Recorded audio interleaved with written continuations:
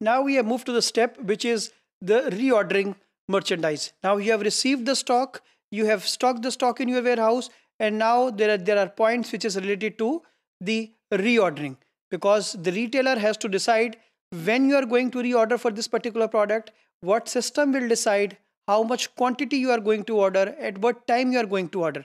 So there are four critical points, there are four pain points or four main points which normally you are going to discuss. First of all is the order and delivery time. So what would be the order time, even what would be the ordering days and what would be the delivery time and delivery days.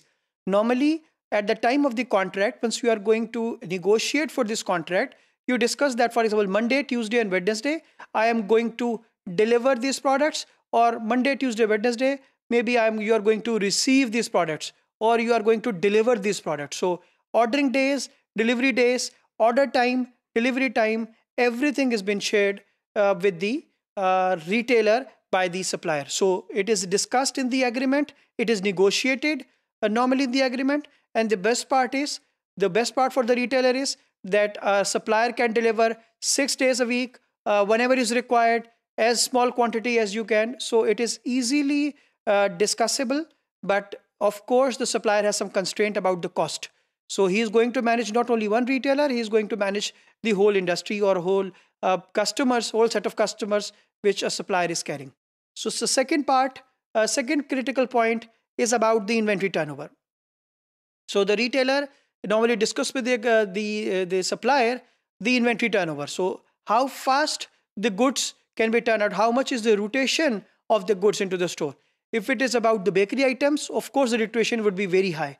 If you talk about the refrigerator, of course the the the uh, rotation of this product, the inventory turnover of these uh, such products are normally less. So again, on the basis of the product turnover, on the rotation of the goods, it is decided that what would be the ordering uh, level, at what quantity you will order, and when you are going to order about it. And then third part, third critical factor is about the financial expenditures, financial outlays, financial expenses. So what are the how how much a retailer has to pay for the inventory and for the transportation or for other things. So what are the expenditures associated to it? What are the expenses, financial outlays associated to it? So if it is agreed together, healthy for the retailer, of course, the retailer um, will be going to say uh, to, to, do the decisions which is in the favor for uh, both the retailer and the uh, supplier. And then inventory versus ordering cost. So normally a retailer make comparison of two things. If he orders the inventory and keeps the goods with him, so what would be the inventory cost? And for example, what would be the transportation cost?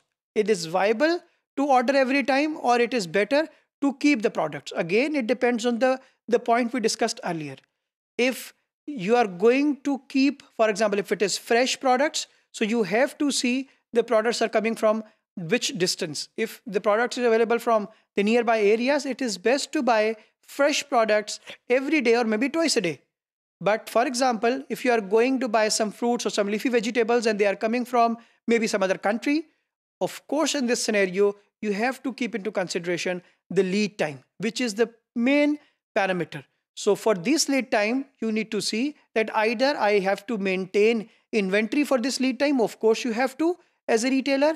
And on the other side, what would be the ordering cost if I maintain a warehouse locally here? So what would be the ordering cost of uh, placing this order to the, the, to the supplier?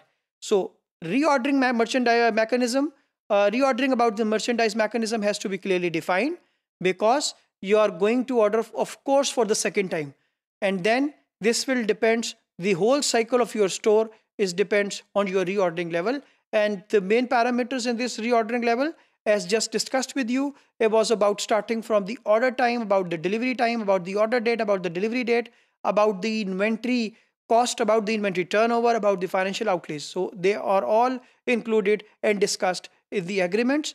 And the, the, the, the objective of the retailer is to win all these points in the favor of retailer